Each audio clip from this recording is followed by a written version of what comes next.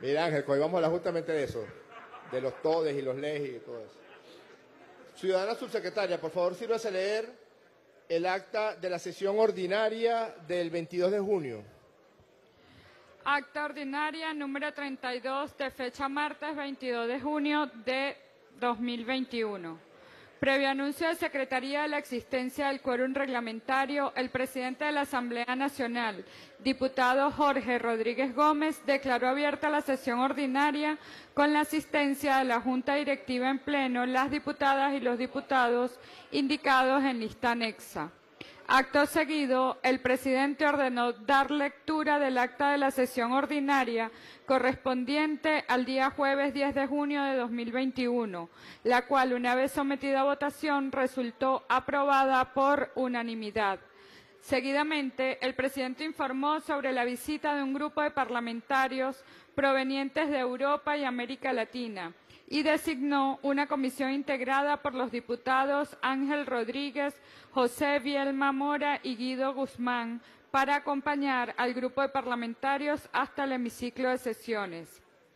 Acto seguido, el presidente ordenó dar lectura a la cuenta. Se dio lectura al primer punto de la cuenta referido a comunicación suscrita por el ciudadano Carlos Alvarado González, ministro del Poder Popular para la Salud, mediante la cual envía informe de las dificultades para la compra de medicamentos presentado a la Comisión Nacional de los Derechos Humanos de la ONU, junto con el Plan Nacional de Vacunación Masiva contra la COVID-19 y el reporte de vacunas que han llegado al país. En este punto, el presidente ordenó la remisión de los documentos a la Comisión Especial de Seguimiento de la solicitud ante los organismos internacionales de la salud para la liberación de patentes y mecanismos de adquisición de tratamientos contra la COVID-19 y solicitó a dicha comisión especial presentar un informe en la próxima sesión especial sobre las actuaciones realizadas. En el segundo punto de la cuenta se leyó comunicación suscrita por la diputada Asia Villegas Polja, presidenta de la Comisión Permanente de las Familias, la Libertad de Religión y de Cultos, mediante la cual solicita a la Junta Directiva una prórroga de 30 días para la segunda discusión de los proyectos de Ley Orgánica para la Protección Integral de las Adultas y los Adultos Mayores, Ley de Sistema de Cuidados de la Vida Humana, Reforma de la Ley para la Protección de las Familias, la Maternidad y la Paternidad, y el proyecto de reforma de la Ley de Promoción y Protección de la Lactancia Materna. El presidente sometió a votación la prórroga de 30 días, resultando aprobada. En el tercer punto de la cuenta estuvo referido a comunicación suscrita por los diputados José Gregorio Noriega y Eleazar José Armas, mediante la cual notifican la designación del diputado Luis Manuel Ibarra Fernández como jefe de la fracción parlamentaria de Voluntad Popular Activistas. Posteriormente se dio lectura al cuarto punto de la cuenta concerniente a comunicaciones suscritas por comisiones permanentes detalladas en lista anexa, mediante las cuales remiten informes completos de gestión, correspondiente a los meses desde enero hasta mayo de 2021, las cuales se detallan en lista anexa. Acto continuo, el presidente concedió el derecho de palabra al diputado Ricardo Sánchez, quien solicitó una prórroga de 15 días para presentar el informe sobre las actuaciones realizadas por la Comisión Especial de Seguimiento de la solicitud ante los organismos internacionales de la salud para la liberación de patentes y mecanismos de adquisición de tratamiento contra la COVID-19. El presidente sometió a votación la prórroga de 15 días, resultando aprobada. Seguidamente, el presidente concedió el derecho de palabra al diputado Rubén Limas, quien presentó el proyecto de ley de ciudades inteligentes, sostenibles y resilientes y solicitó su incorporación en las próximas sesiones. El presidente ordenó la inclusión del proyecto de ley en la cuenta de la próxima sesión ordinaria y concedió el derecho de palabra al diputado Earle Herrera, quien en nombre de la Comisión Permanente de Cultura y Recreación realizó una invitación a la obra de teatro El Sol de Venezuela nace en el Esequibo. Inmediatamente, el presidente pidió dar lectura a la propuesta del orden del día, la cual, una vez leída, resultó aprobada por unanimidad. Punto número uno del orden del día. Propuesta de la Junta Directiva de la Asamblea Nacional para convocar a una sesión solemne el día 23 de junio del año en curso, con motivo de cumplirse el próximo 24 de junio los 200 años de la batalla de Carabobo. En este punto intervinieron los diputados Luis Eduardo Martínez y Jorge Rodríguez. El presidente sometió a votación la convocatoria a sesión solemne resultando aprobada.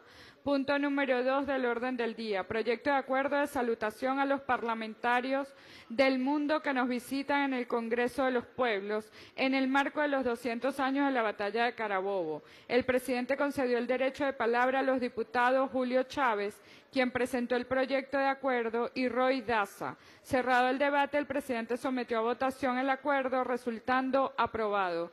Punto número tres del orden del día. Proyecto de acuerdo con motivo de celebrarse los 55 años del salto a la inmortalidad del revolucionario Fabricio Ojeda.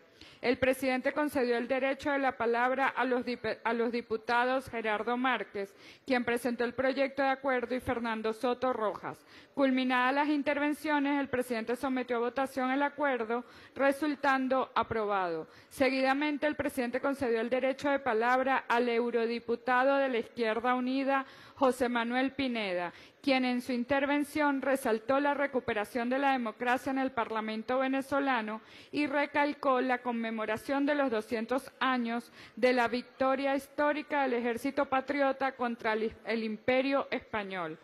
Punto número cuatro del orden del día. Segunda discusión del proyecto de ley orgánica de ciudades comunales. En este punto intervinieron las y los diputados Luis Parra, Luis José Marcano, Alfonso Enrique Campos, Oscar Figuera, Pedro Carreño, Luis Loaiza, Ricardo Molina, Blanca Ecaut y Hermán Escarrá. Seguidamente, el presidente ordenó a la secretaria dar lectura al proyecto de ley orgánica de ciudades comunales artículo por artículo, aprobándose hasta el artículo número 10. De inmediato, el presidente concedió el derecho de palabra al diputado Luis José Marcano, quien solicitó el diferimiento de la ley.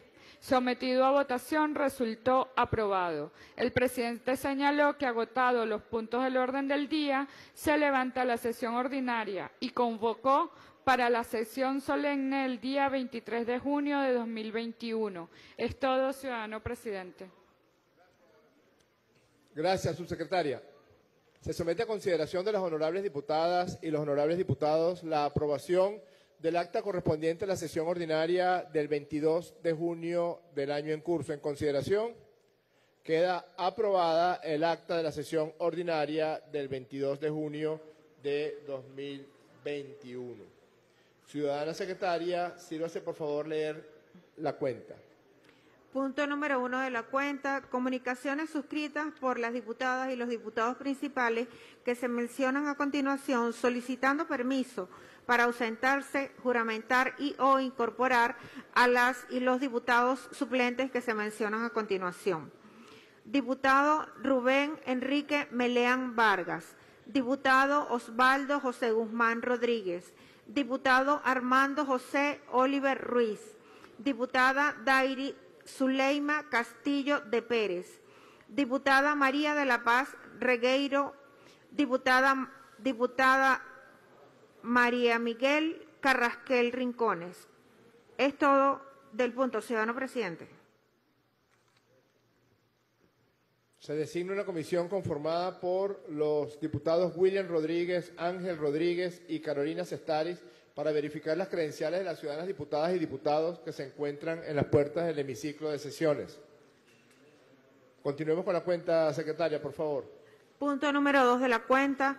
Comunicación suscrita por la diputada Asia Villegas Presidenta de la Comisión Permanente de las Familias, la Libertad de Religión y de Cultos, mediante la cual adjunta el proyecto de ley sobre la promoción y uso del lenguaje con conciencia de género y solicita la urgencia reglamentaria para ser incluida en el orden del día.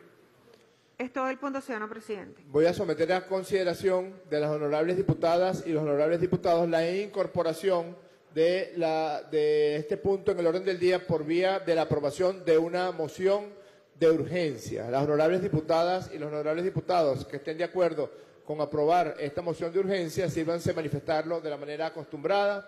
Queda aprobado, por favor, ciudadana secretaria, incorpore el punto propuesto por la diputada Asia Villega como presidenta de la Comisión Permanente de Familia, Libertad de Religión y de Cultos en el orden del día de hoy. Siguiente punto de la cuenta, querida secretaria. Punto número tres. Comunicación suscrita por el diputado Ricardo Ignacio Sánchez Mujica, presidente de la Comisión Permanente de Educación, Salud, Ciencia, Tecnología e Innovación, mediante la cual adjunta el proyecto de ley Fomento de los procesos educativos alternativos de educación universitaria. Es todo el punto, ciudadano presidente. En cuenta. Punto número cuatro.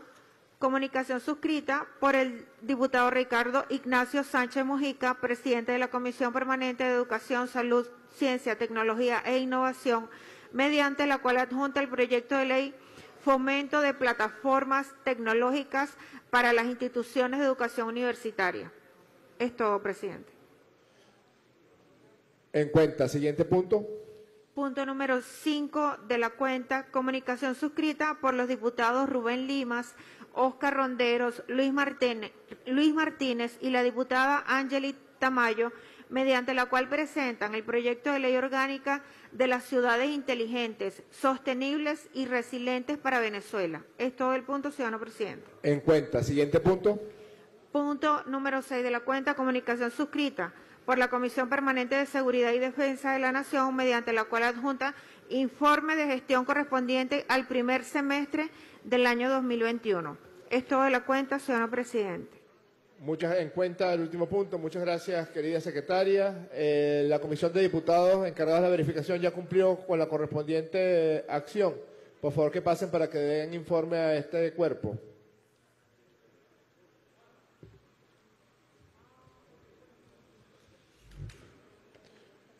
Diputada Cestari, por favor.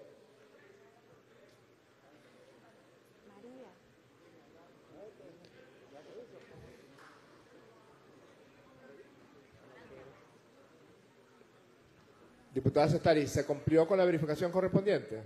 Ciudadano presidente, habiendo chequeado todas las credenciales y los requisitos correspondientes, informamos que todo está en orden. Muchísimas gracias, querida diputada Carolina Cestari. Los hermanos Rodríguez y la diputada Cestari pueden volver a sus correspondientes curules.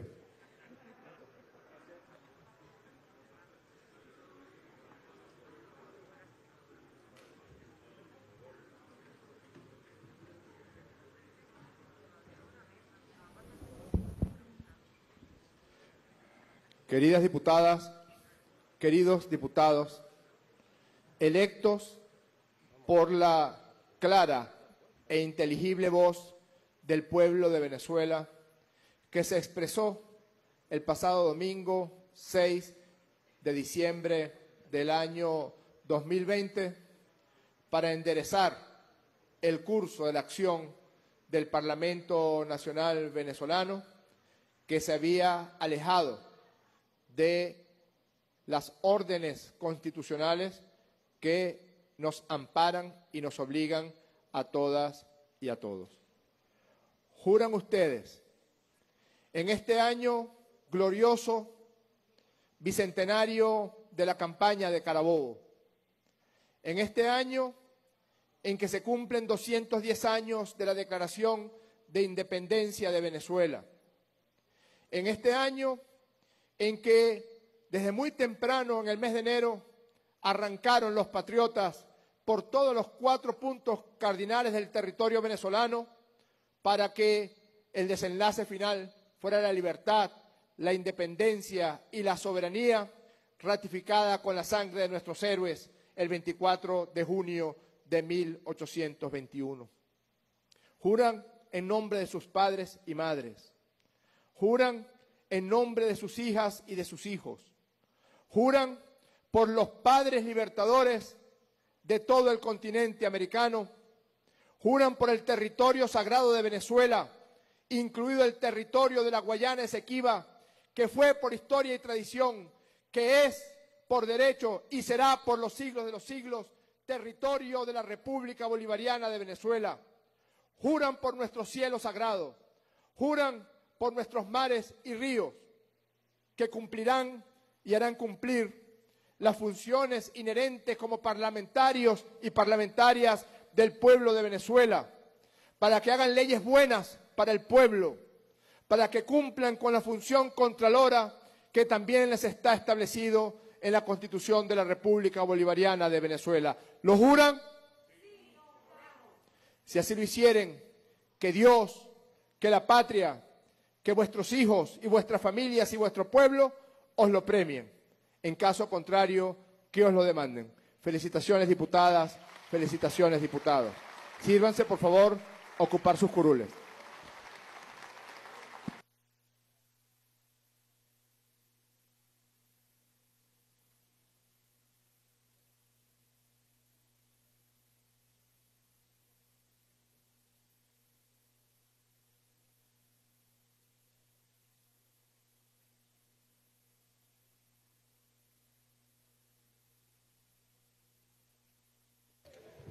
Ciudadana secretaria, sírvese por favor dar lectura a la propuesta de orden del día. Punto número uno del orden del día. Primera discusión del proyecto de ley sobre la promoción y uso del lenguaje con conciencia de género.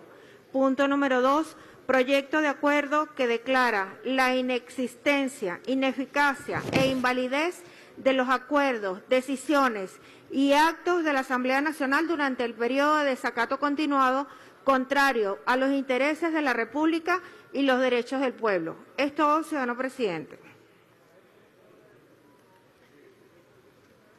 Diputada Parra, usted tiene un derecho de palabra como punto de información sobre el orden del día. Adelante, diputado. Dos minutos. Señor presidente, demás miembros de la Junta Directiva y, por supuesto, colegas parlamentarios, el pueblo que, que nos está viendo hoy. En esta sesión nosotros queremos proponer para que se incorpore en el orden del día el debate sobre la agudización de la crisis que hoy estamos viviendo y sintiendo en toda Venezuela, sobre el suministro del combustible, gasolina, gasoil y el impacto que está generando en la población y, por supuesto, en los sectores productivos del país. De tal manera que para consideración de la Cámara, nosotros una vez más y atendiendo el llamado, el clamor de la gente, desde este Parlamento, que es el escenario de discusión por el debate del país, bueno, queremos proponerlo ante esta plenaria. Es todo, señor presidente. Gracias, diputado. Por favor, secretaria, sírvase leer el artículo 64 del reglamento interior y de debates en su numeral 6. Leo. Siéntese, por favor, diputado, ya yo lo vi. Gracias. Permiso. Procedimiento para las sesiones. Artículo 64. Las sesiones se realizarán bajo el siguiente régimen. Numeral 6. Cuando alguno de los diputados o diputadas propusiere la modificación del orden del día para incluir o excluir algún punto o materia en la discusión de la plenaria, la presidencia concederá un solo derecho de palabra al diputado o diputada que quisiere hacer la proposición e igualmente uno solo a quien quisiere adversarla, cada uno de ellos por un, lapso de dos minutos. De seguida procederá a someter a votación la modificación que se decidirá con el voto de la mayoría absoluta de los diputados o diputadas presentes. Solo se permitirá hasta tres mociones de modificación del orden del día. Es todo, ciudadano presidente. Muchas gracias, secretaria. Por eso fue que, con todo respeto, le pedí que se sentara. Usted puede tomar el derecho de palabra, diputado, solamente para adversar la propuesta del diputado Parra. Si usted no lo está adversando, no puede tomar el derecho a palabra. ¿La va a adversar, diputado? Ah, ok. Tiene la palabra el diputado Pedro Carreño.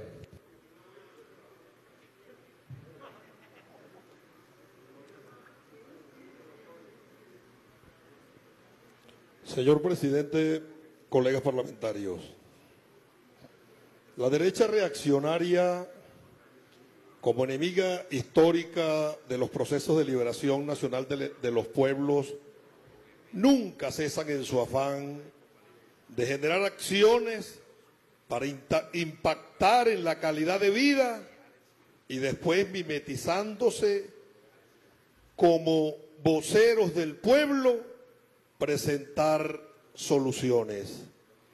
El diputado que pide la modificación del orden del día, colegas parlamentarios y pueblo de Venezuela, se entera hoy que hay una agudización de crisis.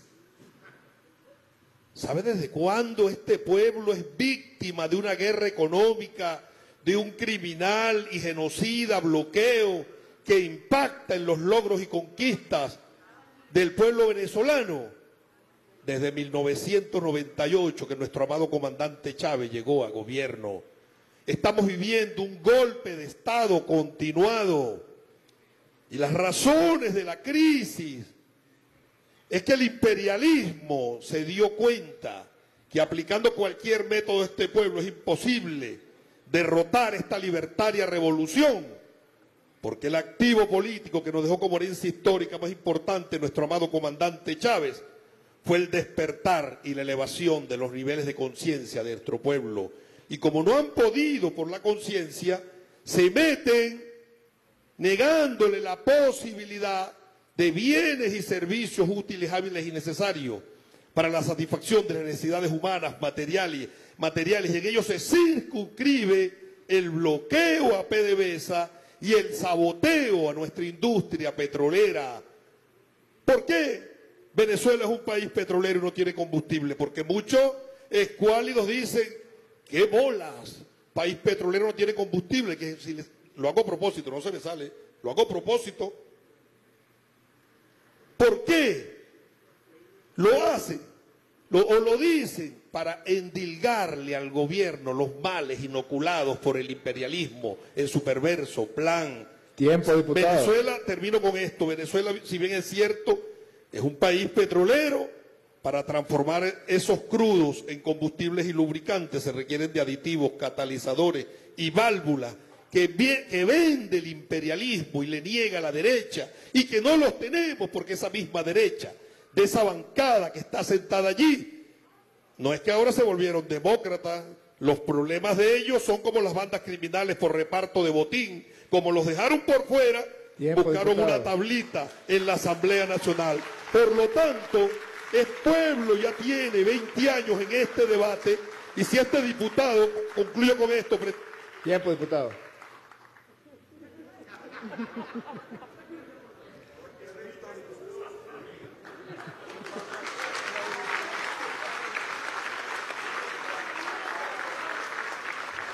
Bien, hay una moción de modificación del orden del día.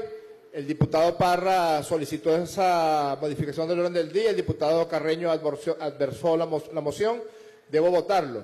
Las diputadas y diputados que estén de acuerdo con la modificación al orden del día propuesto por el diputado Luis Parra, manifestarlo de la manera acostumbrada. 1, 2, 3, 4, 5, 6, 7, 8, 9, 10, 11, 12, 13, 20 votos. ¿Votos en contra? Queda negada la moción de modificación del orden del día.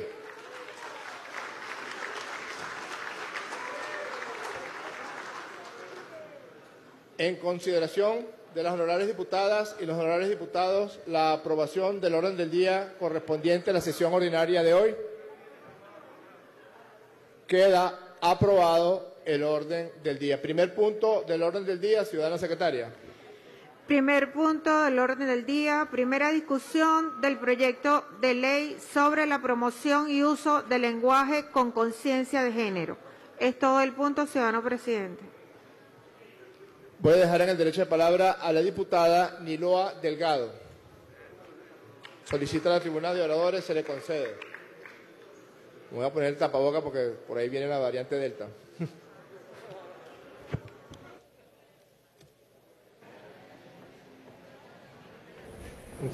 Diputado, ¿usted quiere un derecho de palabra? Pero sobre el orden del día.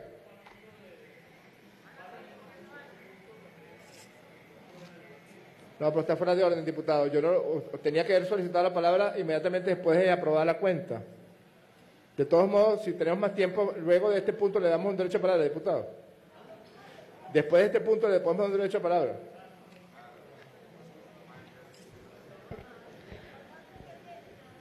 Buenas tardes, ciudadano presidente, ciudadana vicepresidenta, segundo vicepresidente, junta directiva, colegas parlamentarias, colegas parlamentarios. Bueno, el día de hoy nuevamente nos encontramos aquí porque queremos presentar un proyecto de ley que es breve, bastante breve, pero que al pueblo mujer, que es la mitad de la población venezolana, y bueno, y tiene influencia directa sobre la otra mitad, le importa muchísimo. A veces dejamos pasar cosas porque creemos que son menos importantes a la hora de la ejecución. Entonces nosotros, bueno, reunidas con la Comisión Permanente de Familia y la Comisión de Desarrollo Social Inte- Integral a la cual pertenecemos, decidimos presentar y con el acompañamiento permanente en esta etapa de nuestra consultoría jurídica de la Asamblea Nacional, decidimos presentar una propuesta de ley que está vinculada al lenguaje no sexista, que está vinculada a la visibilización de la mujer como sujeta de derecho que ya existe en nuestra Constitución, pero que todavía, más de 20 años después, no se practica en algunos espacios. Entonces nosotras consideramos, nosotros consideramos que debemos legislar en esta materia. Allá afuera hay un pueblo bastante grande que espera de nosotras la representación digna que tenemos acá y que no es gratis el día de hoy, es más del 40% de esta Asamblea Nacional. Entonces, en consecuencia, nosotras queremos presentar, no sé si se está proyectando de manera simultánea, este, una, una- algo muy breve que colocamos. Y bueno, no es nada más iniciativa nuestra, también queremos recordarles y sobre todo a los colegas diputados de la bancada de la oposición que normalmente se burlan de nuestras modificaciones en la Constitución, que se burlan de lo que las mujeres aspiramos en este proyecto de revolución que no solamente dentro de Venezuela se ha legislado en esta materia, sino en otros países y también por recomendación de organismos que no precisamente tienen que ver y tienen simpatía con este gobierno dirigido por un revolucionario y por revolucionarias como la UNESCO, vamos a citar. Ellos nos dicen y nos han recomendado además que hagamos de la práctica el uso del lenguaje no sexista y de género en nuestro país. Cito, la UNESCO declaró, habrá quizás quienes piensen que intentar liberar el lenguaje de ciertos usos lingüísticos sexistas equivale a poner la carreta delante de los bueyes, ya que el lenguaje que refleja los prejuicios sexistas acumulados durante generaciones no cambiará hasta que la igualdad de las mujeres con los hombres no se sancione realmente en la práctica y, consecuentemente, los prejuicios sexistas que el lenguaje transmite vayan desapareciendo paulatinamente con el tiempo.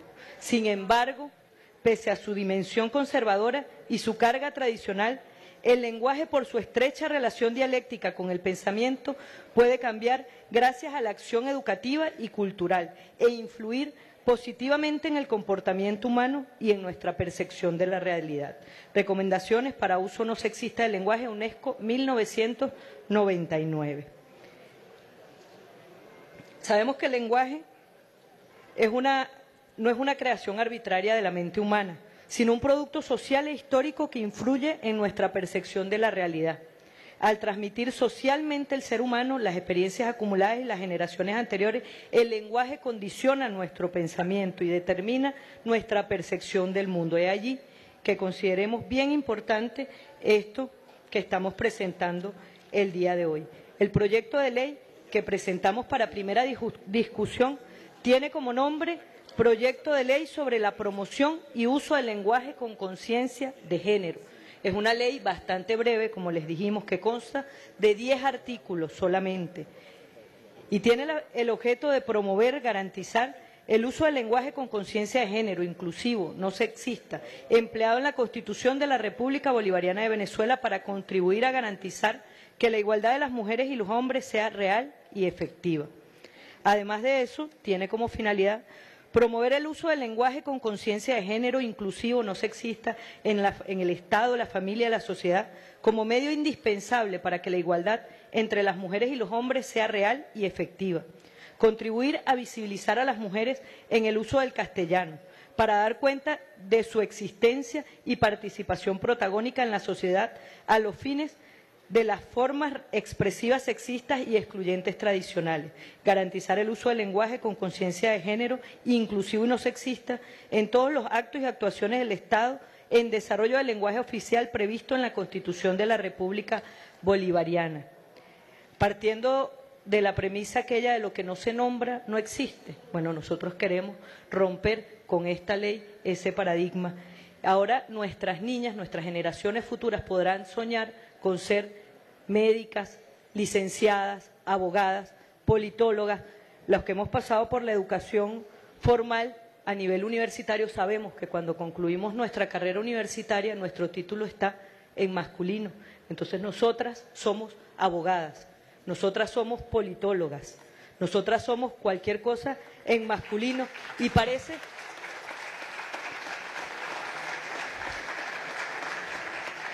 parece que no hubiésemos pasado por allí. Entonces, entre otras cosas, esta ley brevísima, pero con un contenido bien importante para nosotras, trae ese cambio, esa exigencia de inclusión en la educación desde que somos bien niños, en la educación primaria, en la educación secundaria, en la educación universitaria, pero también en el ejercicio formal de lo que ya está establecido en nuestra Constitución desde el año 1999. Se entiende como lenguaje con conciencia de género inclusivo y no sexista la expresión de las mujeres y los hombres al mismo nivel, en condiciones de igualdad y que no conlleva estereotipos de género. Por tanto, se evita el sesgo hacia un sexo o género en particular y por todo, y por todo ello no oculta, no subordina, no jerarquiza, no excluye a ninguno de los géneros. Desde aquí, entre los criterios generales que estamos presentando sobre el lenguaje con conciencia de género, se busca visibilizar en la comunicación escrita y oral la presencia por igual de hombres y mujeres, emplear el femenino y el masculino siempre para evidenciar la existencia de las mujeres, emplear el femenino en los cargos públicos y profesionales, evitar el uso del masculino universal. Nosotras quisiéramos, hoy hemos hecho algunos ejercicios en algunos espacios en donde nos levantamos y cuando saludamos, saludamos solamente en masculino. Nosotros nos paramos aquí y saludamos solamente a las parlamentarias y vemos inmediatamente en el resto de nuestra audiencia cómo se incomodan los caballeros. Y lo hemos hecho de manera consciente y a propósito para hacerles ver que algo que parece tan pequeñito importa. A nosotras nos importa, a ustedes les importa. Y por eso apostamos a que por apuro, muchas veces, a que por simplificar un discurso no nos dejen por fuera y nos visibilicen reconociéndonos como actoras, insisto en eso. Evitar la referencia al hombre como representación de las personas. No utilizar términos masculinos genéricos para hacer referencia a un grupo mixto. Favorecer el uso de las palabras en género neutro. Además de eso, y como les decía, proponemos el uso del lenguaje con conciencia de género en el Estado, en los medios de comunicación social, que ahí sobre todo se nos disminuye mucho y se justifica la cosa con razón de tiempo y costo que tiene visibilizarnos en los procesos judiciales y administrativos, en el sistema educativo en general.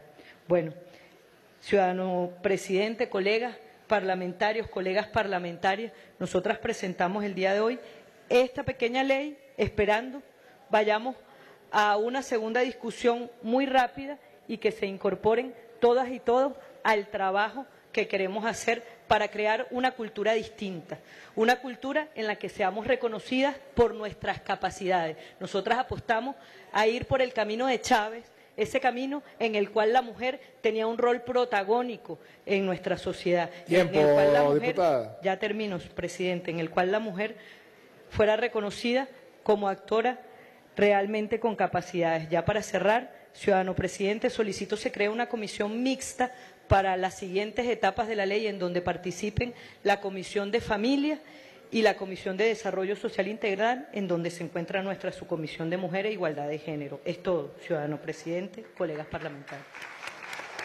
Muchas gracias, diputada.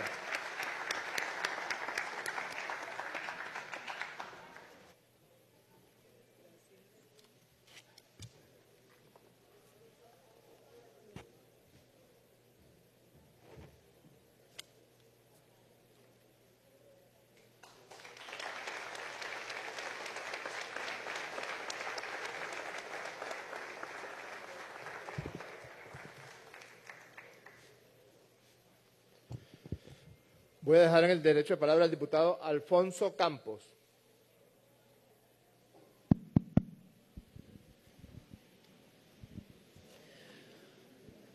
Buenas tardes, bendiciones de Dios.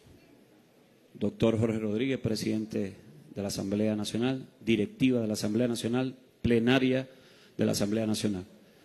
Ante todo, buenas tardes. Eh, en este tema celebramos discusiones y debates en la propuesta de una ley que busca humanamente recuperar o reivindicar eh, la ubicación de la mujer dentro de la sociedad.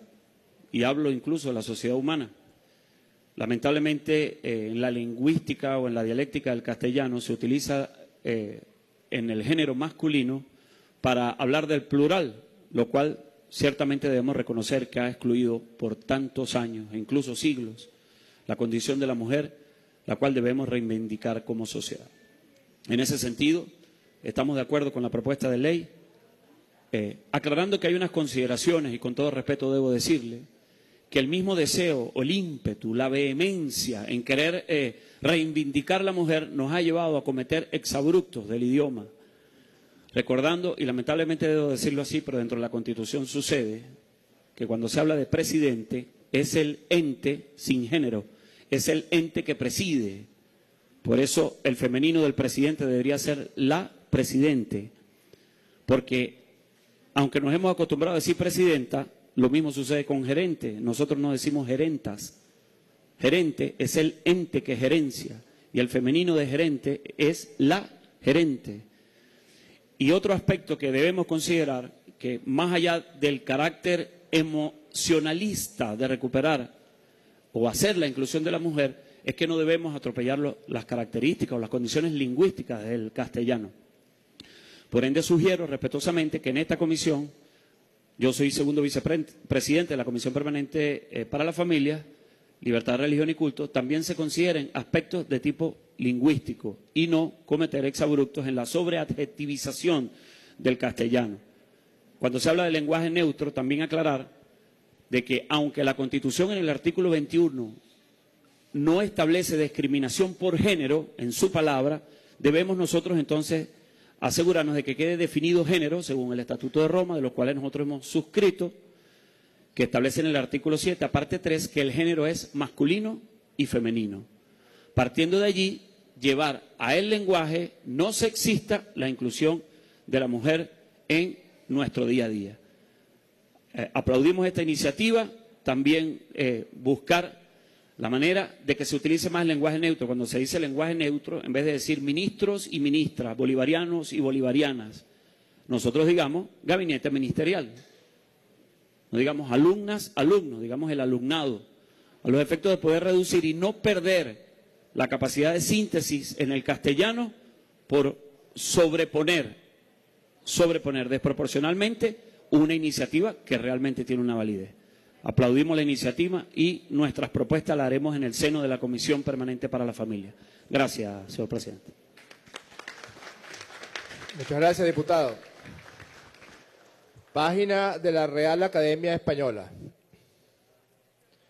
Aunque presidente puede usarse como común en cuanto al género, seguramente eso lo escribieron hombres, es preferible hoy usar el femenino presidenta, documentado en español desde el siglo XV y registrado en el diccionario académico desde 1803. Además, el vocablo presidente o presidenta no son adjetivos, son sustantivos. Por tanto, cuando se refiere al sustantivo, necesariamente tiene que dársele el valor de género que tiene, cualquiera que sea ese sustantivo. La mayoría de los sustantivos tienen un valor de género, querido diputado. No habiendo diputada hacia Villegas, adelante.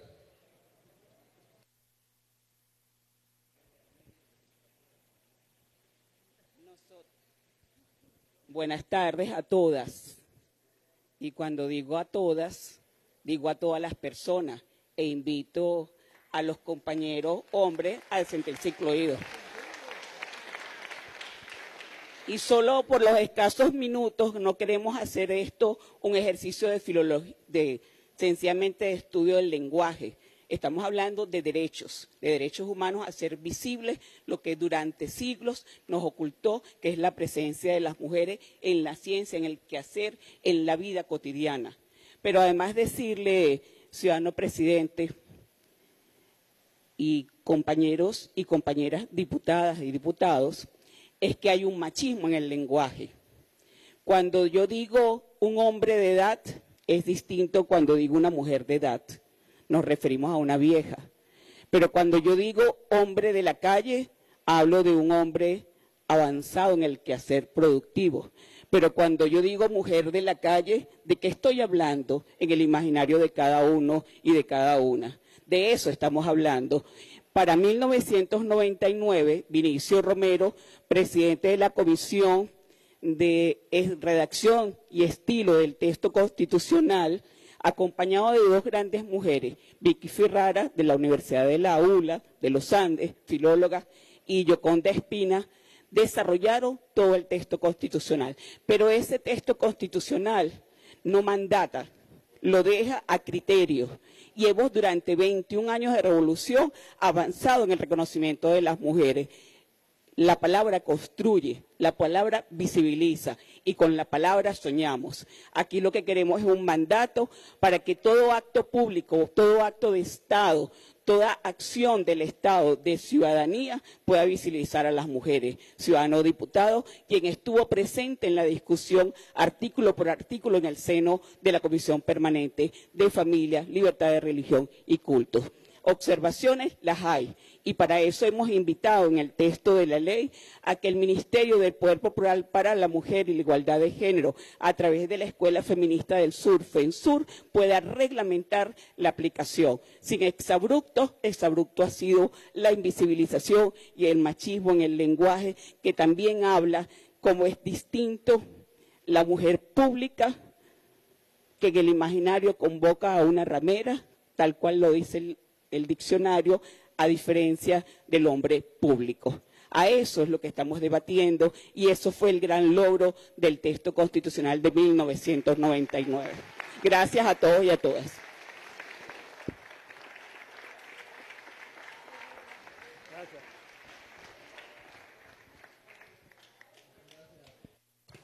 Muchas gracias, querida diputada Asia Villega. Quizás ustedes conocen un verso de uno de nuestros más grandes poetas, Luis Alberto Crespo, que en uno de sus, de sus más bellos libros, se llama Señores de la Distancia, se refiere, tiene un verso que dice, ese pájaro canta porque pongo su nombre. El hombre, la mujer, el humano, la humana, somos seres simbólicos. Y eso es lo que diferencia de cualquier otra especie en el reino animal al que pertenecemos. Lo decía Kant. Kant decía que un ser humano se caracteriza, se, define como aquellos que hacen preguntas que no podrán ser respondidas.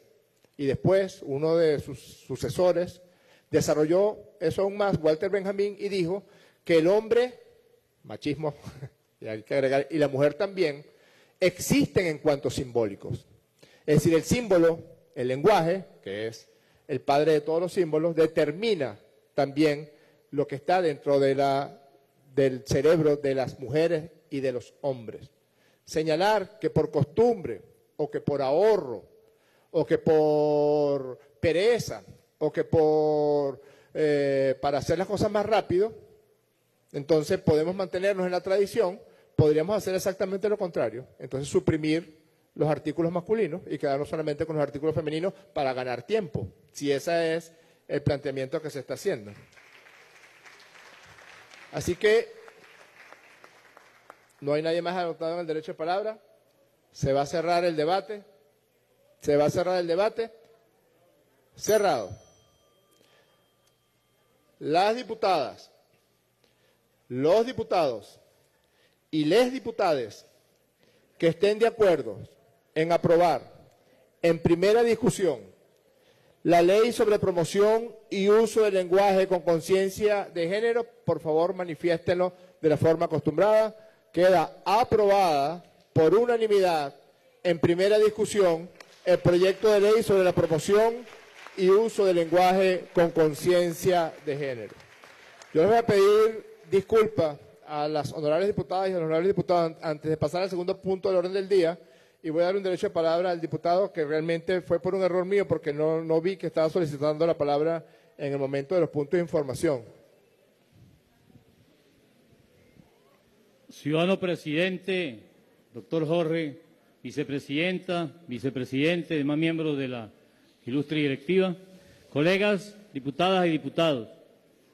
En nombre del Táchira y en reunión sostenida con gremios de educadores, me pidieron que hiciera el favor para que la Asamblea solicite al Ministerio de Educación un pago que se adeuda a más de 7.000 educadores del Táchira, No, diputado, del no, no, bono no. Simón Rodríguez. Diputado, está fuera de orden. Como estamos en el ánimo bicentenario, yo hice y pido disculpas nuevamente un exabrupto que es salirme del orden del día para dar un derecho a palabra, pero solicite por favor el derecho a palabra de manera más formal para el próximo día jueves y le pido disculpas. ¿Sí va? Bueno, entonces va para el jueves. Gracias, diputado. Sí. Siguiente punto del orden del día, ciudadana secretaria. Punto número dos del orden del orden del día, proyecto de acuerdo que declara la inexistencia, ineficacia e invalidez de los acuerdos, decisiones y actos de la Asamblea Nacional durante el periodo de desacato continuado, contrario a los intereses de la República y los derechos del pueblo. Es todo del punto ciudadano presidente. Gracias. Y estoy reflexionando un poco sobre algunos derechos de palabra que hemos escuchado aquí en esta plenaria el día de hoy y me preguntaba, bueno, ¿de, de dónde viene cierto tenor que he notado en la sesión de hoy? Y el tenor creo que tiene que ver con que cada día estamos más cerca del 21 de noviembre del año 2021, donde habrá elecciones de alcaldes, de gobernadores, de, concejales y de diputados de los consejos legislativos regionales. Nosotros vamos a insistir en preservar la disciplina del orden parlamentario basado en el reglamento de interior y de debate. Así que solicitamos a las diputadas, diputados, diputades, candidatas, candidatos, candidates, precandidatas, precandidatos, precandidates, que se ciñan al reglamento interior y de debate. Eh, voy a dejar en el derecho de palabra, en este punto, al diputado Germán Escarrá.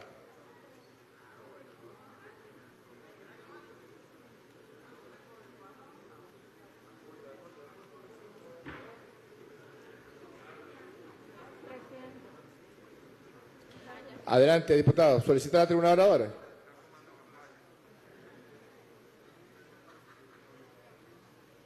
Apreciado presidente, es necesario la tribuna oradores para la presentación del documento.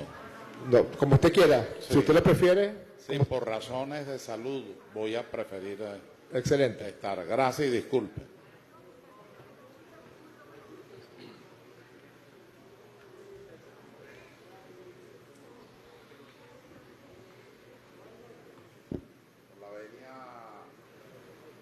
Con la venia de las queridas parlamentarias y parlamentarios,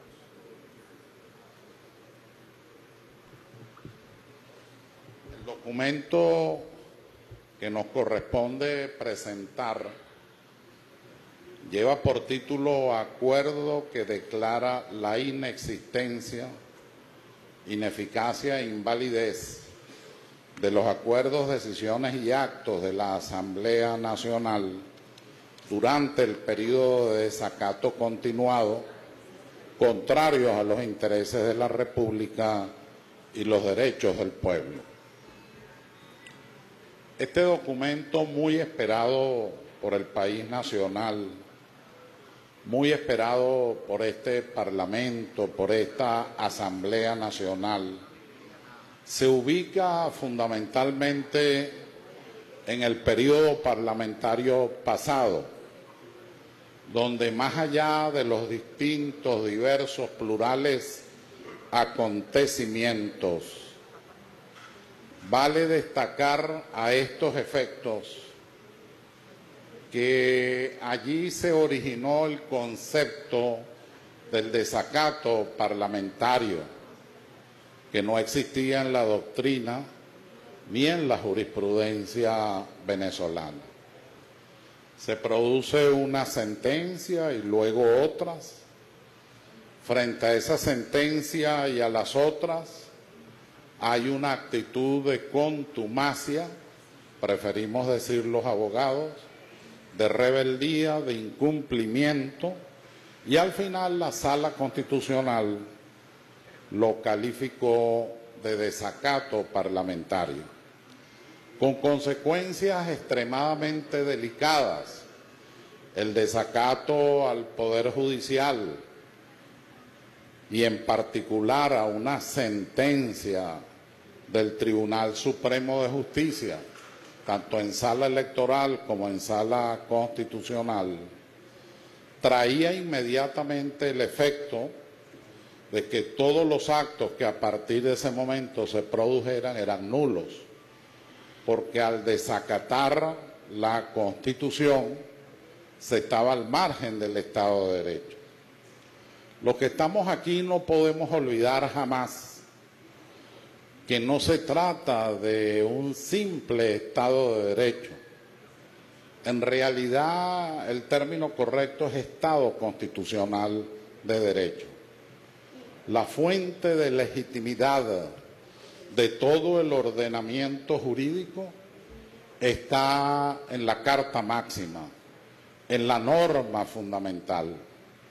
Y en este caso, redobladamente delicado, porque es la única constitución de las 27 a partir de 1811 que es elaborada, discutida, reflexionada y aprobada directamente por el pueblo de Venezuela. Un hecho único en la historia política y constitucional nuestra. Pero lo que destaco de allí es la legitimidad la fuente directa de legitimidad de la Constitución, que a su vez es la base de todo el edificio jurídico de nuestro ordenamiento y de nuestro Estado de Derecho, es en su ultimidad causal la soberanía popular. El pueblo, titular único, intransferible del poder constituyente, es el que finalmente otorga esa legitimidad a la Constitución.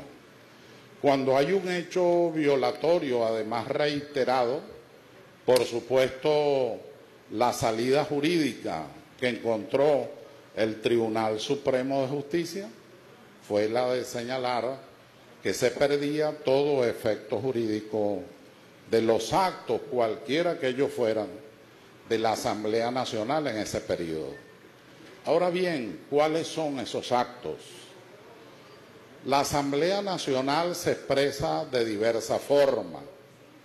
Se expresa en forma constituyente a través de la enmienda, del procedimiento de reforma, pero también a través de la iniciativa constituyente. También se expresa a través de leyes, las leyes de base, las leyes habilitantes, las leyes orgánicas, las leyes autorizatorias y los acuerdos parlamentarios que están previstos casualmente en nuestro interna corporis, que es nuestro reglamento. Los acuerdos parlamentarios los define la doctrina para decirlo de manera muy directa, como actos parlamentarios sin forma de ley. En realidad es que son actos no normativos en lo que se refiere al efecto jurídico. Un acuerdo es una exclamación, un acuerdo es un conjunto de expresiones que el Parlamento quiere señalar en un momento determinado, pero no tiene la coercibilidad que caracteriza una norma, no tiene forma de norma, no tiene materia de norma, no tiene contenido de norma. Es lo que dice la palabra, es un acuerdo, es una expresión, es una declaración. Estos acuerdos en el periodo pasado fueron convertidos en el orden internacional en actos de gobierno. Claro está, estoy hablando de una situación de usurpación a la que me voy a referir al final. En este momento quiero destacar que esa situación de los acuerdos parlamentarios que no tienen efecto jurídico y que fueron devenidos para defraudar los bienes, dineros públicos de la nación venezolana en el exterior, se producen en medio de una especie de fraude a la Constitución. Este documento habla del fraude a la Constitución, yo hubiera preferido hablar de falseamiento constitucional que es como lo señala la doctrina internacional en esta materia, porque no se trata de tomar una norma y darle un sentido distinto. De lo que se trata y de lo que aquí ocurrió es de la sustitución de facto del texto constitucional. Se falsea la constitución, se miente sobre la constitución y se crea la arquitectura fáctica de un Estado parlamentario. No de otra manera se podía presentar en el exterior estos acuerdos como actos de gobierno, porque la Asamblea Nacional, el Parlamento, en el sistema presidencialista, no tiene actos de gobierno. Tiene actos administrativos, sí. Un reglamento es un acto administrativo la organización de la policía de la Asamblea es un acto administrativo. El nombramiento de algunos funcionarios de la Asamblea son actos administrativos de carácter generalmente individual. Pero en este caso convertirlo en acto de gobierno para defraudar a la nación, para corromper, para no solamente el tráfico de influencia, el cohecho, sino también para delitos mucho más graves, que es de alguna manera eh, sabotear, de alguna manera crear situaciones de transferencia económica de los recursos nacionales, de los recursos del país en el exterior. Nosotros no somos ni hemos sido nunca nosotros pasamos de monarquía a república. Y la república, aún en el triunvirato de 1811, fue una república presidencialista. Que es una república presidencialista moderada, sí, pero no es una república parlamentaria. República parlamentaria es Inglaterra, es España, donde hay una jefatura de gobierno diferente a la jefatura de Estado. Entre nosotros, el presidente, que es de donde emanan los actos de gobierno y decretos, salvo cuando se trate de leyes habilitantes, que es una situación excepcional, el presidente de la República es jefe de gobierno, pero también es jefe de Estado, es jefe de la Administración Pública Nacional y además comandante en jefe de la Fuerza Armada Nacional Bolivariana. Es un sistema presidencialista. De tal manera que esa ficción con la que se trabajó en el exterior le ha creado problemas muy graves a la defensa jurídica de Venezuela. en particular al Procurador General de la República, que tiene que actuar ahora con las competencias y atribuciones de la ley antibloqueo. Entonces, cuando se presenta un arbitraje internacional, le oponen un supuesto acto de gobierno. Cuando va a la jurisdicción internacional, incluso la privada, le presentan como prueba actos de gobierno de ese periodo que trajeron como consecuencia la prácticamente pérdida de Cirgo, la prácticamente pérdida de nuestras inversiones en Colombia y en muchos países de Europa. De tal manera que este documento es esencialmente la recuperación o el camino, el fortalecimiento para la recuperación de lo que se le robó a Venezuela. Estoy seguro, no creo equivocarme, de que al menos la inmensa mayoría, por no decir la unanimidad, de estos queridos, queridas, perdón, parlamentarias y queridos en el sentido de que de lo que se trata es de la restauración moral de la República, no solo es un hecho económico, es la restauración ética y moral de la República. Nosotros no llegamos aquí precisamente para dar la espalda a los nefastos, o mejor dicho, nefandos, hechos ocurridos por ese Parlamento que en mala hora escribió páginas oscuras, lamentables, de la historia de Venezuela. Nosotros estamos aquí para que este Parlamento sea luminoso en la dignidad de nuestro pueblo y su defensa, pero que sea luminoso también en las reivindicaciones que correspondan.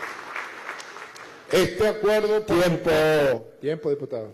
Gracias, honorable presidente. Este acuerdo, por supuesto, como acuerdo que es, no tiene el efecto jurídico que quizás algunos deseamos, que es que se configure en algún momento de parte de nosotros las normas de traición a la patria.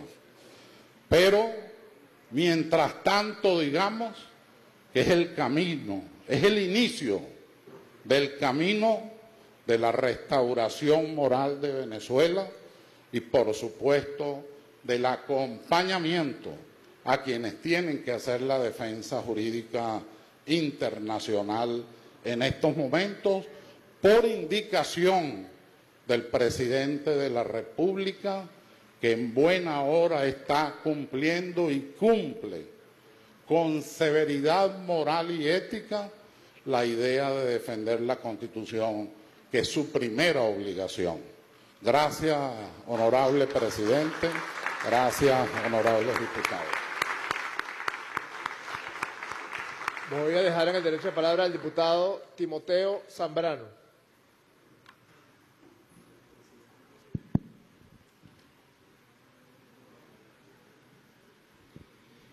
Gracias, señor presidente, colegas diputados. Este acuerdo inicia refiriéndose a los actos parlamentarios, en la cual, sin duda alguna, coincidimos. Yo diría que cada parlamentario de esta Cámara nos ha pasado por la cabeza cómo resolver en el plano de la dualidad de poder que se estableció en Venezuela en el año, a partir del año 2000, creo que 18 o, o 19. Nosotros teníamos dos problemas que resolver. Uno era terminar con la dualidad de poder o el poder dual, que no era una política de la oposición venezolana, sino que fue una política que impuso al país el señor Trump. Ellos construyeron ese esquema del poder dual para poder justificar ante su pueblo y ante el mundo los actos criminales que posteriormente fueron desarrollando. Y allí era necesario, era imprescindible el concepto que el, colega Escarrá vierte en este documento, en este acuerdo. Es decir, el planteamiento de los actos parlamentarios que yo he venido llamándolos a lo largo de todo este tiempo los actos legislativos. Que por cierto, solo una referencia. Las órdenes ejecutivas, que van más o menos un poco más de 740 órdenes ejecutivas, están basadas justamente en un acto legislativo que le da reconocimiento a los actos legislativos parlamentarios de esa asamblea que feneció el pasado 5 de enero. Es decir, que sí reconozco que no es un tema normativo, en eso estoy de acuerdo. Pero políticamente es lo que la comunidad internacional, que le ha dado legitimidad de su parte, o reconocimiento de su parte, a esa política del poder dual, ha sido a partir del reconocimiento a, ese acto, a esos actos legislativos. Entonces tenemos el segundo problema nosotros resolvimos el primero. Lo resolvimos con las elecciones del 6 de diciembre. Esa elección, el objetivo no era la correlación de fuerza de este Parlamento.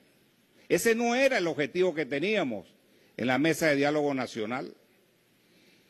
El objetivo era tener unas elecciones que correspondían, de acuerdo a la Constitución, para poder anular la política central que tenía Estados Unidos contra Venezuela, que era el poder dual.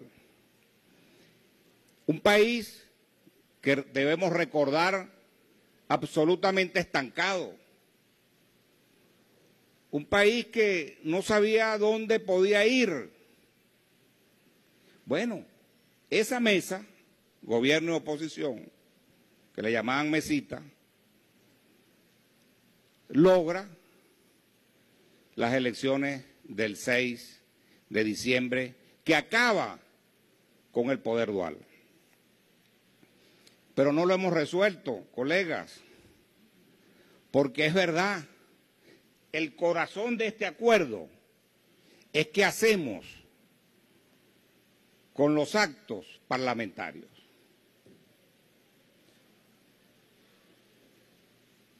Y ese es el grave problema que tenemos. Lo debatimos en la Comisión de Política Exterior cuando invitamos al Procurador General de la República y al Canciller de la República. Y no conseguimos una salida que nos resuelva ese punto que está pendiente de esa política desastrosa que desarrolló la, pasada Asamblea Nacional. Ahora bien, hay aquí también un debate que los colegas parlamentarios mayoritarios plantean. Y es que si no reconocen, no se reconoce los actos legislativos, porque había en un momento determinado, se estableció un momento determinado el desacato y, el, el Tribunal Supremo de Justicia que hizo, todos los actos estaban en desacato. Muy bien. Priva las decisiones de la Sala Constitucional. De acuerdo. Pero eso es interno, colega. Eso es aquí en el país. Muy bien, estamos de acuerdo. Pero eso no tiene efectos internacionales. Y por eso al procurador que tiene una estrategia correcta, se le complejiza poder resolver ese problema. Porque no hay reconocimiento tampoco afuera de esos actos emanados del, del Tribunal Supremo de Justicia. Entonces, esas dos palabras es nuestro gran dolor de cabeza. ¿Cuál puede ser una ruta, un camino para resolver el problema? De alguna manera la tiene el procurador. Él tiene todos esos actos debidamente listados, con lo que ha tenido que fajarse en cada instancia en la comunidad internacional para resolver el problema. Bueno, yo creo que es una ruta que bien lo dice, se acerca en el párrafo sexto o en el acuerdo sexto de este documento. Pero claro, nos quedamos en el informe. Muy bien. Estamos llegando. Nos falta menos. Pero creo que tenemos que ir, colega presidente, colegas parlamentarios, directiva, tenemos que anular esos actos. Tenemos que anular esos actos en esta asamblea. Un acto legislativo anula otro acto legislativo. Si no, vamos a seguir sin darle una solución a, esta a este barbarismo que ocurrió en esos dos años con esos actos legislativos. Les puse como ejemplo las órdenes ejecutivas, más de 740 órdenes ejecutivas. ¿Fundamentado en qué? Porque esa es una ley bipartidista en los Estados Unidos. Pero la fundamentaron en los actos legislativos o en los actos parlamentarios de esa asamblea. Tiempo, diputado. Entonces, termino, presidente. Yo tenía aquí otros párrafos que quería proponer, pero, pero creo que esto para el inicio me parece importante. Y le, y le sugiero, presidente, que siendo esto una materia tan importante, una materia de Estado, yo creo que no debe ser en, el, el desarrollo de este acuerdo, no debe ser solo de una parcialidad de este Parlamento, por muy mayoría que son. Creo también que esto debe ser, si se quiere, bipartidista entre su fracción y la fracción de la Alianza Democrática para tener un rumbo cierto y coincidente en darle una solución a este grave problema que tiene nuestra querida Venezuela, que no hemos resuelto. Y el comunicado ayuda, pero todavía no resuelve.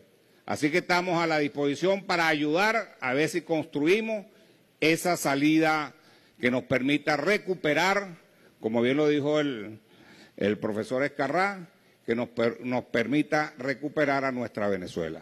Muchas gracias, colega.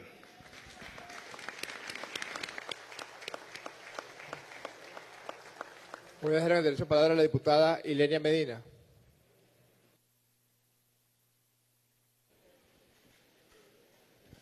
Gracias, señor presidente.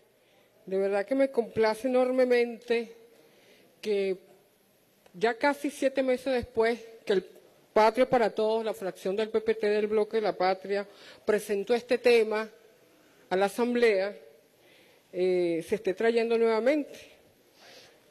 Eh, nosotros en su oportunidad señalábamos que era necesario, desde la perspectiva de la legalidad,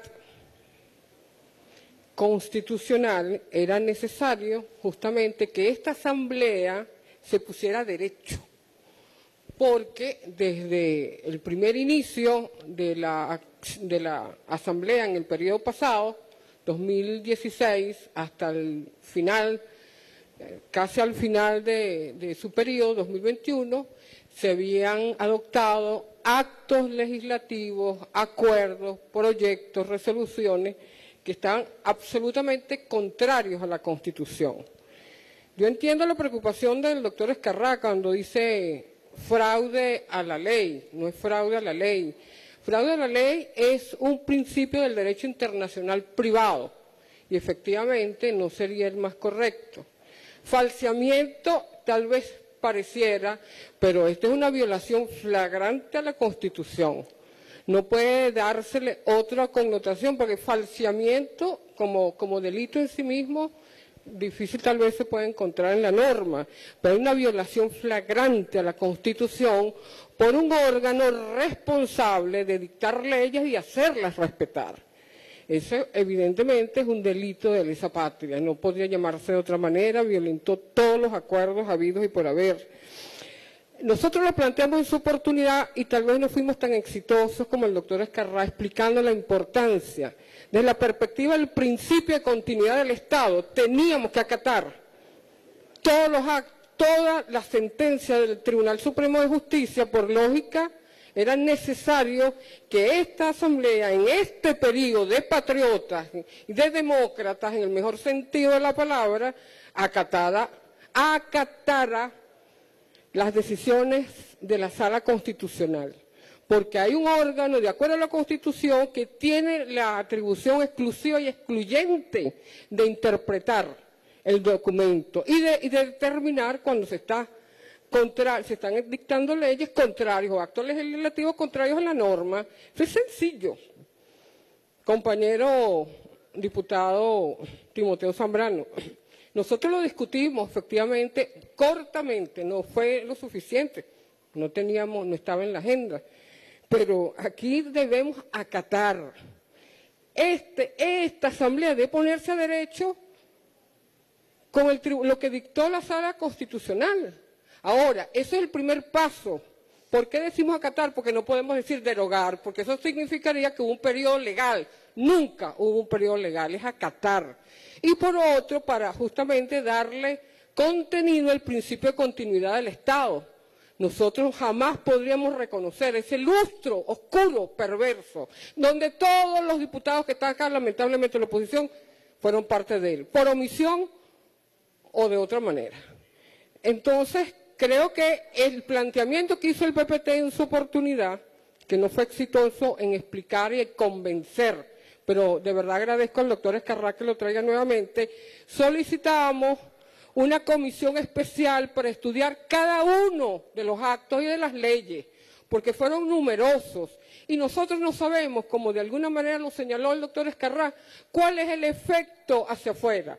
Pero el primer paso, el primer paso es acatar y nosotros decíamos una comisión especial que le solicita al tribunal que nos, que nos presente todos y cada uno de las sentencias que ellos dictaron, revisarlas para estudiarlas, no para volverlas atrás, no tenemos cómo hacerlo, sino para estar atentos exactamente a cada efecto que pudiera tener en nuestra legislación interna y también en lo internacional. Al compañero Timoteo Zambrano, nosotros podemos perfectamente, de acuerdo al derecho internacional público, informar a cada parlamento, a cada gobierno, que cada uno de estos actos legislativos... Tiempo, diputada. permítame terminar. Que cada acto legislativo no tiene validez alguna de toda validez. Hay un documento en la Comisión de Derecho Internacional, muchísimo, cuando se, cuando se dictan actos unilaterales por quien tenía competencia estos diputados para hacer lo que hicieron. Ninguno. Están absolutamente este, al contrario a la Constitución. Por lo tanto, no podemos ser dilemáticos. Tiempo, Tenemos que actuar. Y Gracias, diputada.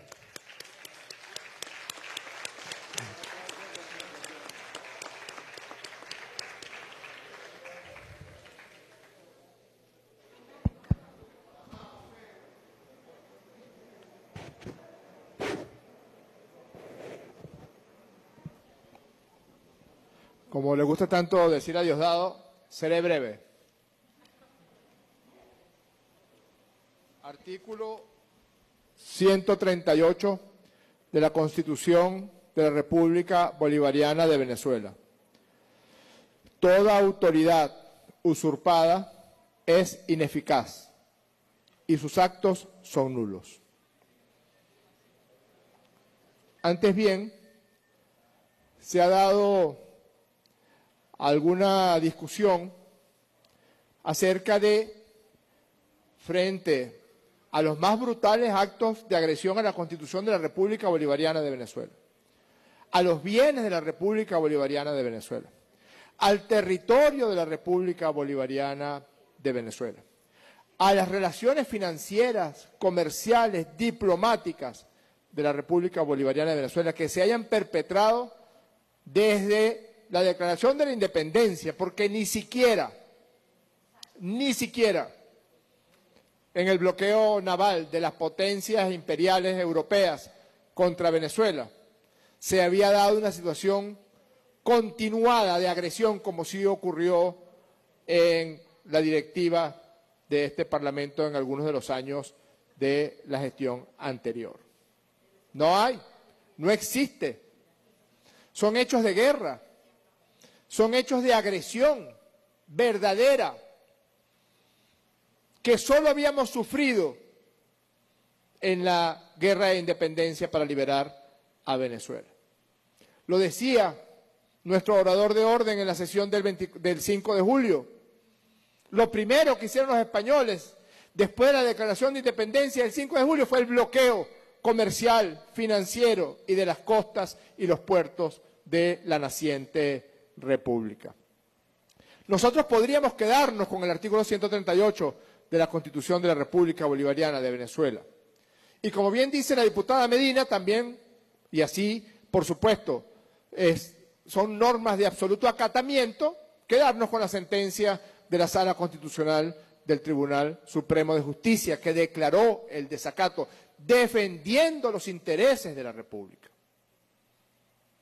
Pero tenemos que ir un poco más allá, como bien decía el diputado Zambrano, por las consecuencias de esos actos terribles, horribles contra la República, que escribieron, como dijo el, diputado Escarrar, haciéndole una pequeña corrección, una página blanca de atrocidades horrendas contra la República Bolivariana de Venezuela, sin alusiones a su partido, diputado Bernabé.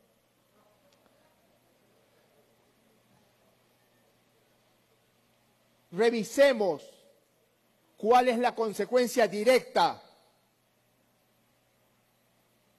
Cometieron tal nivel de exabruptos que aquí nombraron a la directiva de Citgo para entregarle Citgo a el imperialismo norteamericano, a la administración de Donald Trump. Y Citgo acaba de declarar pérdidas por más de 800 millones de dólares en el año que estos ladrones la tenían, se la tienen apropiada. Acaba de salir un escándalo en monómeros que obligó a destituir a la Junta Directiva de Monómeros porque los mismos trabajadores de Monómeros, una empresa de Venezuela en Colombia, señalaron los gravísimos hechos de corrupción. Los aviones con los que ha viajado Leopoldo López a que lo pitaran en Lima, a perpetrar conspiraciones criminales para planificar el asesinato del presidente de la República y de dirigentes políticos de Venezuela a Colombia, todo eso fue pagado con la chequera de monómero, todo eso.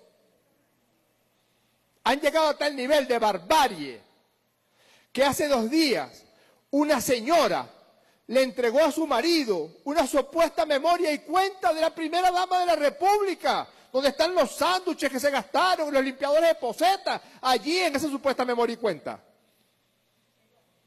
para justificar un presupuesto de 8 millones de dólares que los gringos le dieron a la señora para que comprara sándwiches y torta marmoleada en Danubio. A ese nivel de ridiculez, de barbarie, de agresión llegaron. Cualquiera podría decir que fue un programa cómico y lo llamaron desde un programa cómico. Eran dos cómicos rusos que llamaron a Guaidó y le dijeron, se hicieron pasar por el presidente de Suiza y le dijeron que tenían dos millones de dólares y Guaidó se lo creyó. Y le dijo, ya te voy a pasar el teléfono de planchar para que lo llames, para que lo deposites en una cuenta de él. Dos millones de dólares que tenía la República en efecto secuestrados en un banco en Suiza. Y la plata que está en Portugal, y la plata que está en bancos norteamericanos, la plata que está en bancos europeos, la plata que necesitamos para comprar las vacunas. Todo eso es consecuencia de lo que aquí hicieron.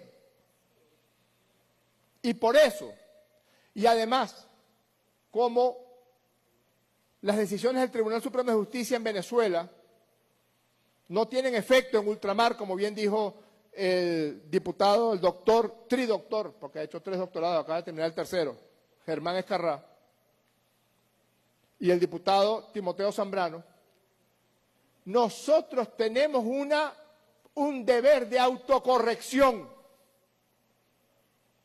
Esta Asamblea Nacional debe corregir los actos nefandos que cometieron los bárbaros de Guaidó y su camarilla de ladrones. Guaidó, iba a decir Guaidó y sus 40 ladrones, pero ya no le quedan tantos. Guaidó y su grupito de ladrones. Aquí está en el artículo 90 del Reglamento de Interior y de Debate. En los casos en que por error o por carencia, se queda corto el artículo, pero es el que tenemos, de alguna formalidad no esencial se hubiese tomado una decisión por la Asamblea Nacional, esta, una vez constatado el error o carencia, podrá declarar la nulidad de la decisión con el voto de la mayoría de los presentes. Y yo me pregunto, con todo respeto, ¿y no había abogados, por más diferencias políticas que tengamos, de raíz, diferencias hasta de cómo se ve la vida misma, con los distintos factores de la oposición venezolana, de la derecha venezolana? No había un abogado que le dijera a los exabruptos que estaban cometiendo. No son doctores que dan clase en la Universidad Católica. Todavía esa gente da clase en la Católica Andrés Bello. Y los curas de la Universidad Católica Andrés Bello no le pueden decir a ellos, mire, mijo, échese una leidita adicional de algo que se llama no derecho constitucional, sino moral, ética.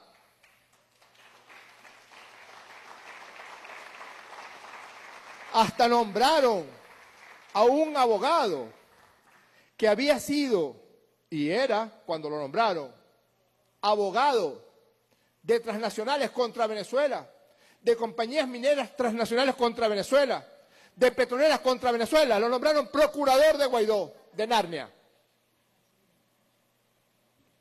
Ustedes han visto, lo único que tiene de pendejo es la cara ese señor. Es lo único.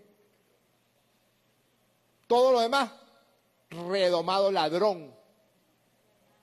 ¿Y en qué se basó ese redomado ladrón para robarnos Citgo? Para nombrar la directiva de PDVSA, para nombrar contralores, procuradores, etcétera. ¿En qué se, se basó ese supuesto procurador, que entiendo yo que es abogado? En las decisiones que aquí se tomaron. Y termino diciendo lo siguiente. Nosotros vamos a autocorregirnos con la aprobación de este acuerdo. Porque en este acuerdo queda claramente establecido, diputada Medina, que acatamos las sentencias del Tribunal Supremo de Justicia y que anulamos todos, todos los actos lesivos a la República que la Asamblea Nacional haya aprobado en el futuro.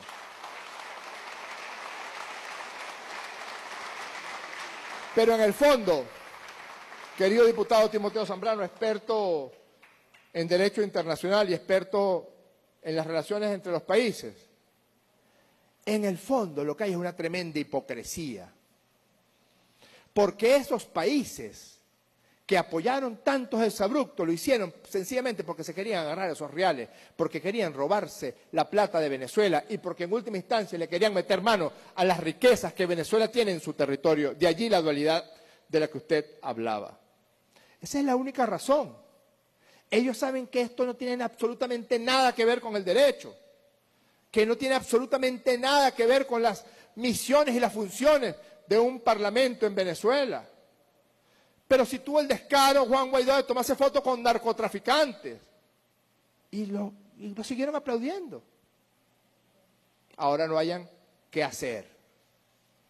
Yo creo que este es el mejor momento para aprobar este acuerdo. Porque este acuerdo adquiere visos de legalidad, de ley, desde el mismo momento en que este Parlamento lo apruebe.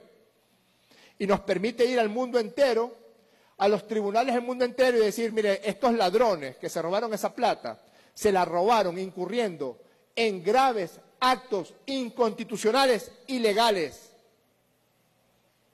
Y como provino de uno de los órganos del poder público, que es el Parlamento Nacional, el Parlamento Nacional se autocorrige y en consecuencia aprueba este documento. A los efectos de continuar con la defensa de la República frente a los agresores del exterior y los lacayos que aprobaron tantos actos nefandos aquí, yo le pido a las diputadas y a los diputados de Venezuela que levantemos nuestra mano y aprobemos este acuerdo no solamente como una forma de colaborar en la defensa de los intereses de la República en el exterior, sino también para repudiar y para exigir que nunca más se utilice un órgano del poder público de Venezuela para hacerle tanto daño al pueblo que precisamente los puso ahí como diputadas y diputados. Que quede constancia de nuestro repudio, que quede constancia de nuestra denuncia, que lo que aquí hicieron fue para agredir a nuestras niñas, a nuestros niños, a nuestras mujeres, a nuestros hombres, a nuestros ancianos.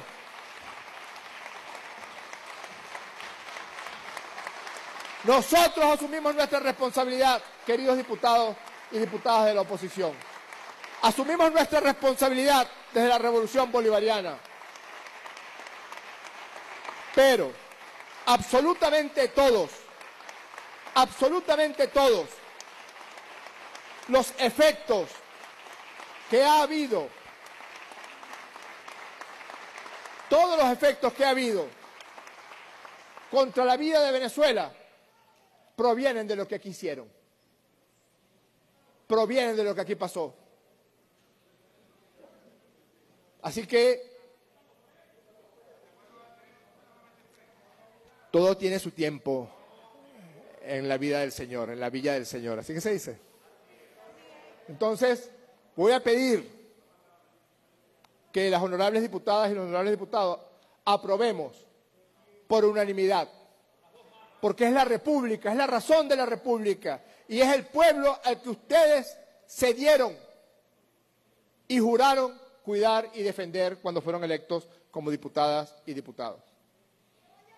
En consideración de las honorables diputadas y los honorables diputados la aprobación.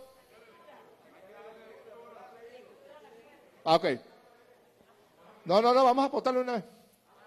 En consideración de las honorables diputadas y los honorables diputados, el acuerdo que declara la inexistencia, ineficacia e invalidez de los acuerdos, decisiones y actos de la Asamblea Nacional donde el periodo durante el periodo de desacato continuado, contrario a los intereses de la República y los derechos del pueblo, por favor manifiéstenlo con la señal de costumbre. Queda aprobado por unanimidad el acuerdo redactado por el doctor Germán Escarrá.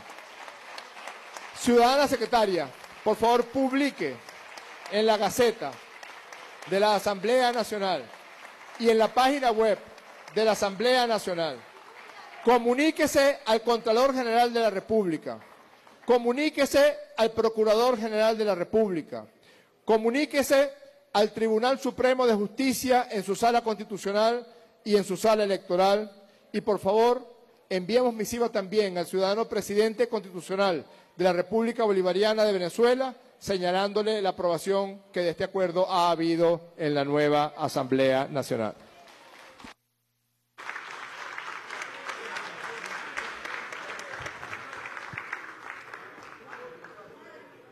Siguiente punto del orden del día, ciudadana secretaria. No hay más nada en el orden del día, ciudadano presidente.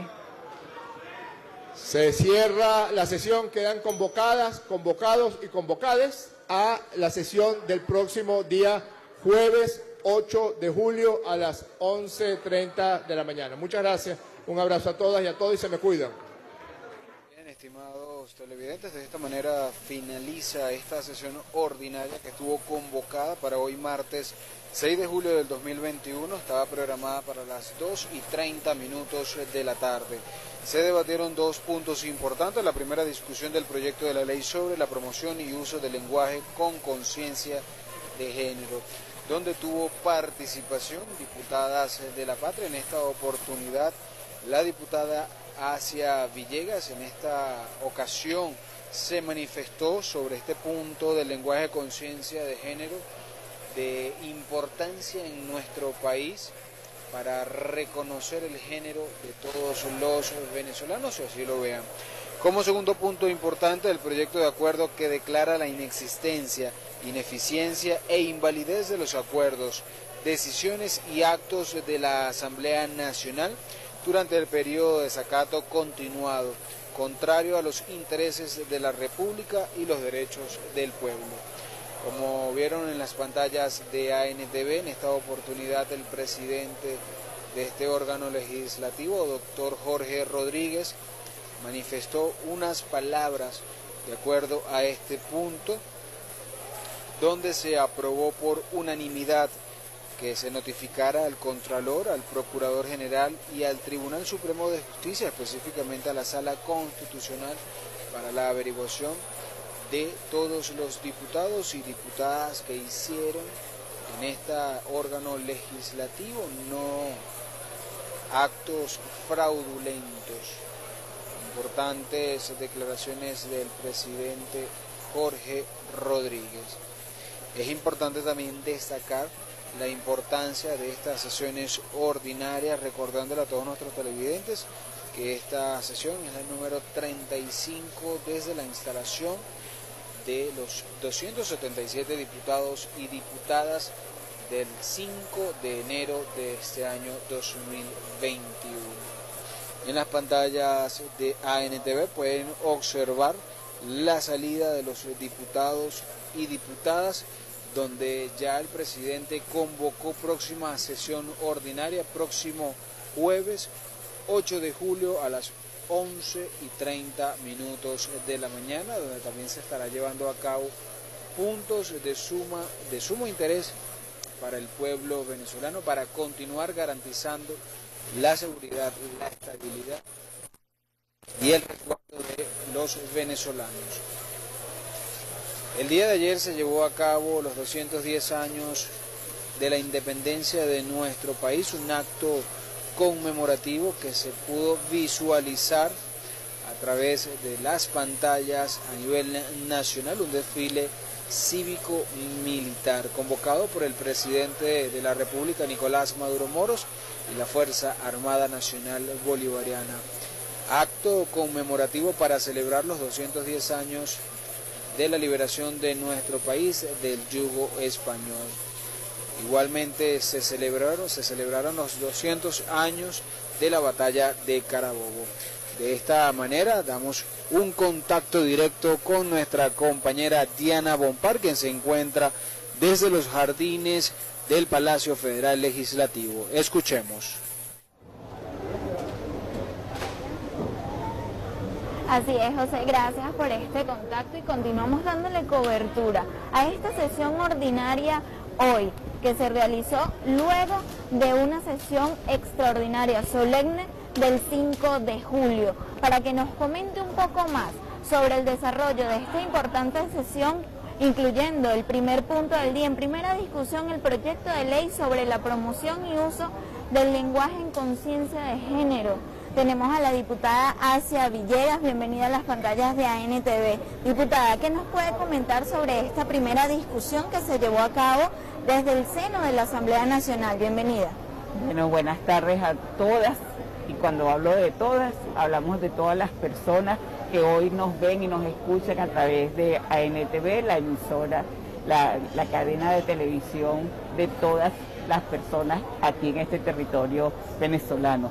Gracias por la oportunidad y decirles que es un hecho importantísimo para el movimiento de mujeres, pero además para toda la ciudadanía en general. Aquí nuestro texto constitucional, que data de 1999, transversaliza una perspectiva de género en un lenguaje inclusivo y no sexista. Para aquel momento, en 1999, hay una, una comisión especial redactora, una comisión especial de estilo, conformada y presidida por Vinicio Romero, constituyente de 1999, y dos grandes mujeres, Vicky Ferrara de la Universidad de los Andes, filóloga, y Yoconda Espina de la Universidad Central de Venezuela.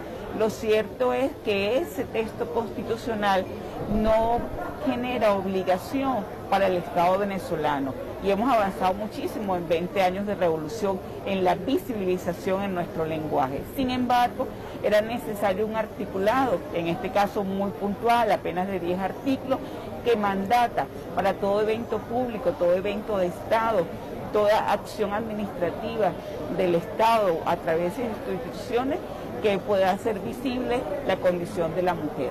Y hablamos no solo en referencia al saludo, sino por ejemplo a los títulos universitarios. Pero no estamos hablando de una clase de lenguaje, estamos hablando de una clase de derechos humanos, la visibilización de las mujeres. Y bueno, hicimos referencia a este trabajo de 1999 y también hicimos referencia al machismo en el lenguaje, cómo los imaginarios se desatan. Así que para nosotros y nosotras un exhorto, no solo al Estado, a los medios de comunicación, a la sociedad en general, a visibilizar en nuestro lenguaje lo que es la mitad de la población, pero sobre todo porque nosotros y nosotras creemos que los imaginarios convocan a la hegemonía. Y cuando hablamos de mujer pública, no es lo mismo cuando hablamos de un hombre público. Pero también es importante nosotros y nosotras que entendamos que hacer posible la visibilización de las que somos médicas, por ejemplo, o de las ingenieras, o sencillamente desmontar las lógicas que descalifican a la mujer desde el lenguaje. Así que gracias por esta oportunidad, creo que ha sido una tarde excelente, ha sido para nosotras la concreción de, de un hecho en el texto constitucional que nos visibiliza. Ciertamente esto no es la igualdad efectiva, la igualdad practicada, pero es parte de acortar las brechas de la desigualdad, la visibilización de las mujeres, la mitad de la población. Importantísimo lo que acaba de comentar, la visibilización de las mujeres, del género, tomando en cuenta que el comandante de la Revolución Bolivariana de Venezuela, Hugo Rafael Chávez Frías, asumió esta importante tarea para la reivindicación de todos los en todos los sentidos, en todos los aspectos. ¿Qué nos puede comentar sobre este hecho histórico que venimos asumiendo actualmente en esta nueva Asamblea Nacional, estos diputados que vienen integrando un poder tan importante para la República Bolivariana de Venezuela? Sí, parte del legado del comandante eterno Hugo Chávez fue su lucha por la visibilización de la mujer. Creo que su formación, su acompañamiento por parte de María León, la leona de Chávez, fue fundamental en la construcción de esa conciencia de género. Creo que fue uno de los grandes desafíos. Y por supuesto su sensibilidad al tema de las mujeres, de las luchas históricas de las mujeres, fue el el escenario perfecto para que estos, estos, estas banderas de lucha tuvieran asidero en su formación y en su conciencia. Diputada, para finalizar, coméntenos un poco todo este trabajo que se viene desarrollando desde la Comisión Permanente para las Familias, para toda esta integración del pueblo venezolano, para finalizar nuestro programa de ya, ya finalizando, decirles que la Comisión Permanente de Familias y Libertad de Religión y Culto tiene en este momento cuatro leyes en consulta. Ya concluida la consulta de promoción y protección a los adultos y adultas mayores que aspiramos presentarla el jueves. También está todo lo que tiene que ver con la consulta eh, sobre la ley, el proyecto de ley sobre la protección a las familias y esa está en el seno de la subcomisión de familias que lleva la diputada María Rosa Jiménez. Igualmente la del sistema de cuidados para la vida, que reconoce el cuidado como trabajo y el, el rol de los cuidadores y las cuidadoras históricamente cuidadoras, que son las que más se desmovilizan en función de otra persona que amerita ser cuidada o atendida y también, por supuesto, la de la lactancia materna. Así que tenemos un conjunto de leyes de la vida, de la cotidianidad, para hacer gratificante el desarrollo de esta apuesta del socialismo feminista. Excelente, una agenda muy nutrida que viene desde la Comisión Permanente para las Familias esta comisión tan importante para el complemento de la nueva Asamblea Nacional, este trabajo desde el seno del Parlamento Nacional. Escuchábamos palabras de la diputada Asia Villegas y la invitación es que pueda interactuar con nosotros a través de las distintas plataformas digitales. Los invitamos a seguir disfrutando de nuestra programación.